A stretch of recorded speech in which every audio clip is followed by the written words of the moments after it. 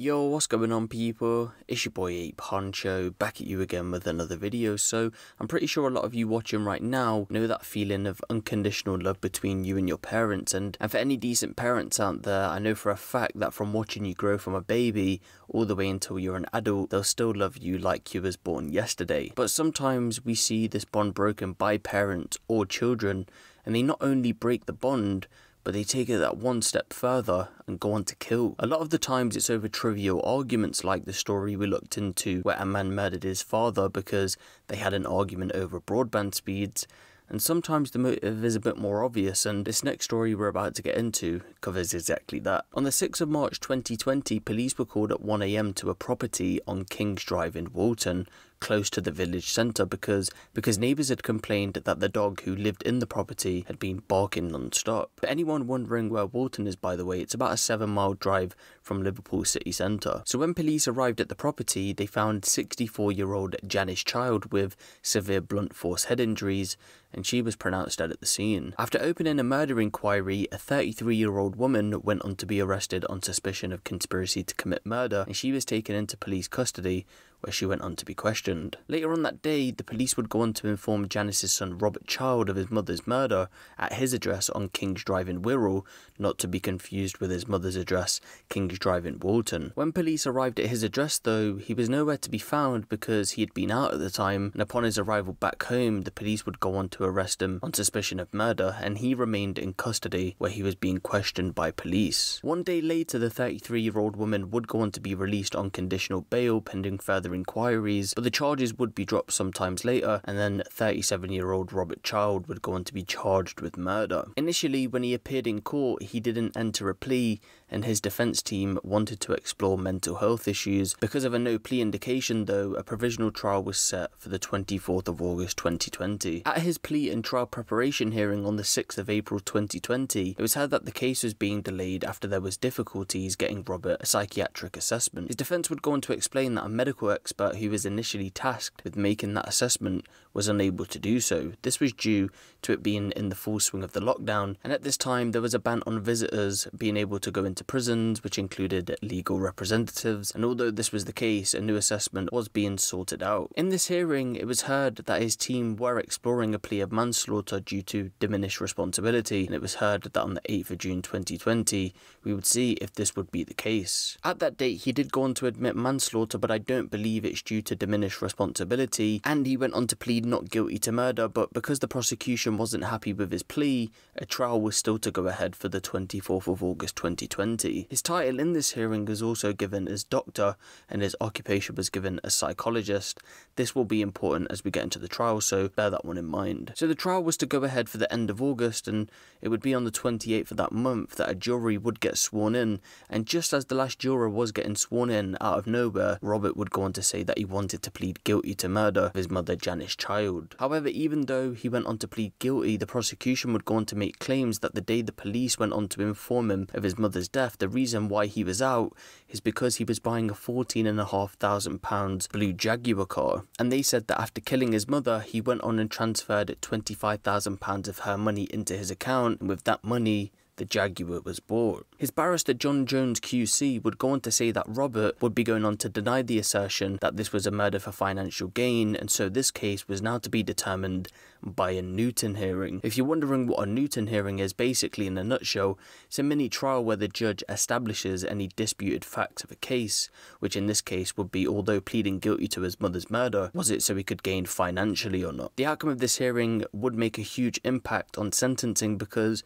the usual starting point for murder is life with a minimum of 15 years in prison, while the starting point of murder for financial gain is life with a minimum of 30 years in prison, so it's a 15 year minimum sentence difference. At this court hearing, though, it was heard that Robert was living with his partner Kelly Williams at the time, and they were due to get married on the 16th of May 2020, but Robert was in quote unquote financial strait On the morning of his mother's murder, it was said he only had one pound and one pence in his bank account. Remember how he said he was a psychologist and that the court was to address him as a doctor? Well, this was because he was working at Liverpool University in the field of sports psychology, but in order to get that job, he lied about obtaining a PhD from the University of Chicago. And in fact, he had only participated in a learning course from that university, which he also went on to fail to complete. On top of this, the prosecution also revealed that Robert had told his colleagues and acquaintances that he had obtained employment with Manchester United Football Club as a talent scout, which of course the police investigated and found out this was also false. In regards to the actual murder itself though, it was heard that the police were called to the house by neighbours because Janice Child's dog Alfie had been barking all night and when they arrived, officers forced the front door open and they were greeted with the dog who had been wearing his coat that he would typically be wearing during his walks that Janice took him on every morning and afternoon. As they were searching the property, they found and entered a door under the stairs which led into the utility room and it was here that Janice's body was found. She was lying on her front wearing an outdoor fleece jacket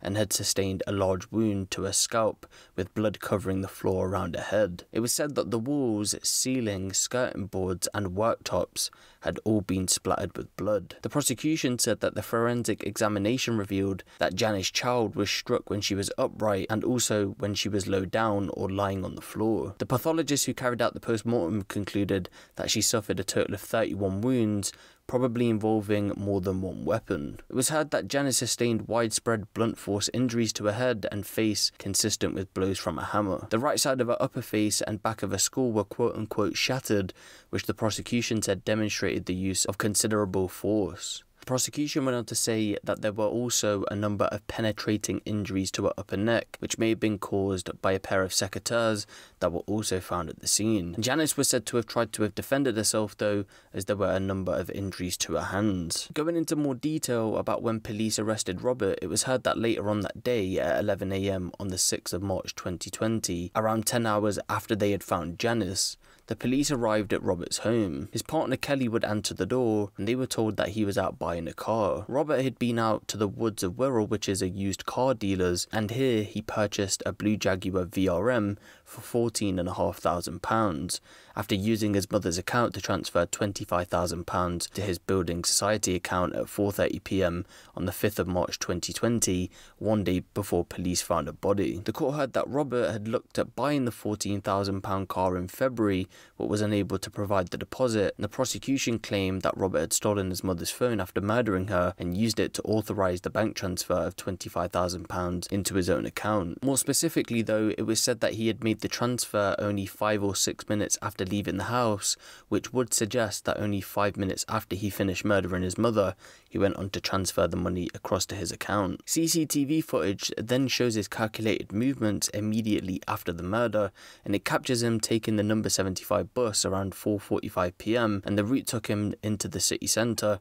at Myrtle Street where he got off. More clips show him calmly walking around Woolton Village, holding black gloves and keys. He then moves near Main Street, where he was seen near to the Coffee House pub, and then sits down on a bench with a black bag. Back to the following day, though, which was the day when he went out to purchase the car. When he eventually got back home, it was said that he appeared shocked and upset after hearing the news that his mother had died, with the prosecution adding, the prosecution say that reaction was entirely fake. It was a simulated response because he knew full well that his mother was dead, and he killed her less than than 24 hours before. Robert would then go on to be arrested at some point later as he gave inconsistent accounts of his movement on the day of his mother's murder, and as the investigation developed, it showed that he attempted to throw detectives off by deliberately leaving his phone at the University of Liverpool when he visited his mother, and he also took a change of clothes and shoes before he disposed of a mobile phone and the hammer. But he made some slip ups trying to cover his tracks because detectives discovered a screwed up bus ticket in his possession from the area his mother lived, proving that he'd been there a short time after his mother had died, and he also left fingerprints in his mother's blood on the door handle. At a further court date, it was heard that financial investigator Adrian McGrath told the court that Robert had been in around £32,000 £1,000,000 worth of debt at the time of his mother's death and had two county court judgments against him for around £16,000. He went on to say that he had a joint savings account with his mother which had £14,000 in it,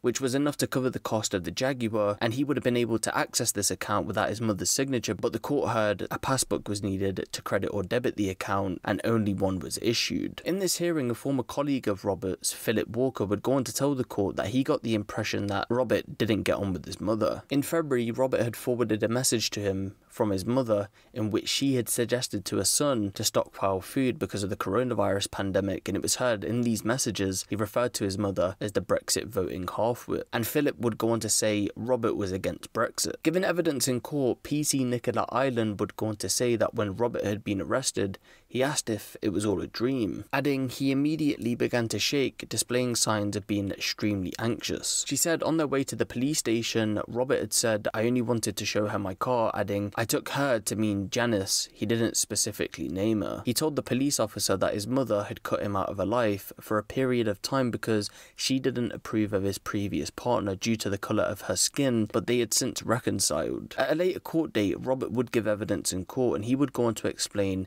that he'd went to see his mum because he planned on killing himself and they began to argue when he said he was quote unquote struggling. He claimed that in this argument she used racist terminology about his estranged wife Sangi Perera, a Sri Lankan national. He said that she disliked her for no other reason than the colour of her skin, and according to Robert, in this argument, Janice would go on to reveal that she had been trolling Sangi on Twitter, but we'll get more into that when it becomes relevant. In 2015, Robert had split from her but remained married. Although still married, he had still went ahead and planned a new wedding with his new partner Kelly Williams. He also told the court that his mum revealed that she had sent a fax to the Home Office to withdraw a visa application for his wife. He also went on to say that he started getting angry when his mum started to indicate that she had been following her on social media and had been attacking her online, adding that she showed him a Twitter login page with a number of different email addresses and told him every time that his estranged wife had blocked her, she'd open a different account. Robert said, I had been in regular contact with Sangi since, and I had known that she'd been attacked and trolled online by an unknown person or I was aware of the effect it had on her mental health in the previous 12 to 18 months, and, and the idea that it came from my mother five years after the relationship had come to an end was a shock. But the court had heard that there was no evidence at all of any Twitter accounts being found on Janice's laptop. In regards to the murder itself, he said he had followed his mum into the utility room while arguing with her, of course, about his estranged wife, and then he attacked her with a hammer, which was lying on the washing machine. He said, I'd made the decision that my life was going to end prior to going there that day, and had the conscious thought that if she was still around, she would continue to attack Kelly and Sangi with even more venom. He then accepted that he struck his mother 31 times and said, I remember the first strike, I do not remember the others, it was a frenzied attack, I do not recall. He went on to say that he did in fact plan on buying the Jaguar with the funds from that joint account that he had with his mum, but she had offered to give him money from her own account while the withdrawal cleared, and he intended on driving the car to Italy, and it would be here he would take his own life. In his defense statement, he said that his relationship with his mother had never been loving, cordial, or friendly, and that she was a strict disciplinarian who found fault with everything he did. But numerous WhatsApp messages between the pair in the weeks leading up to and the morning of the killing painted a different picture and showed that Janice was in fact loving and protective. After the mini trial, Judge Dennis Watson QC would go on to agree with the prosecution that the motive behind the murder was for financial gain. He went on to say that this was a spiteful attack on his mother's credibility and a grotesque distortion of the truth, as he ruled that she did or said nothing to goad him. Sentencing him on the 8th of September 2020, he was handed a life sentence with a minimum term of 29 and a half years because he had already served six months in jail. The judge told him, You murdered her because you realised that there was no other way to obtain her money. You used chilling and ruthless violence in subjecting savage wounds to your defenceless mother. This was a merciless attack. So it really just goes to show you that even when your mother shows you unconditional love, it isn't always shown by the other party. In this case, it would be a child, of course. In fact, what I didn't mention throughout the court hearings is the fact that Robert's cousin had actually spoken out in court and had gone on to say that his mother idolised him and she ensured that he had the best things in life when he was growing up. The fact that he then went on to try and assassinate his mother's character instead of just completely owning up to it as well really just shows what kind of person he is, on top of, of course, actually murdering his mother anyway. And the fact that he had £14,000 in a joint account with his mother that he probably would have had access to just goes to show this wasn't even needed. And to me, it just looks like a case of greed. He probably thought, let me use the 25k for spending, and then he would have access to the £14,000 as and when he wanted to get it out, and it would have been no problem. Let's be honest, his political views probably played a part in this as well because evidence in court did show that they had differences when it came to political views, but for a difference in political views and 25k, is it really worth a human life and is it worth your mother's life, the woman who literally brought you into this world? Imagine you've cared, loved, protected this person from people like him, only for then for him to turn out to be exactly that and go on to kill you. It's just something crazy to think about. And I do want to take this time out just to send my condolences to Janice's family. I know six months has passed now, but obviously the court case has just finished, so it's still going to be pretty raw. So again, I just want to send my condolences out to her family at this current time. But let me know what you guys think of this in the comment section below. Give the video a little like, and if you want the latest drill, street, and music news out of the UK, be sure to hit the subscribe button and the notification bell. It's been your boy Ape Huncho, and I'm out.